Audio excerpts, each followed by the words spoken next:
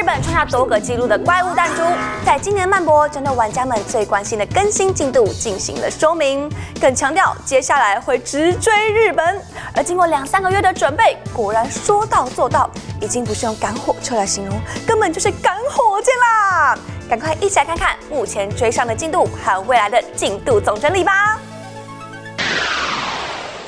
X Flag 可以说是真正有听进玩家的心声呐！自十月以来狂追进度，兽神话、宝爵、超绝灵可以说是通通都出来了。马上来快速复习一下台版更新了什么吧。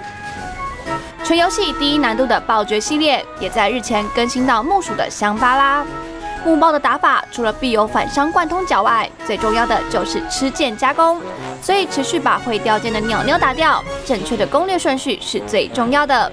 而日本目前则是五系均出，均以地点为名暴绝，光属一殿可以说是最难的暴绝之一，而最后一个暗属则是黄泉，小心不要和伊邪那美搞错喽。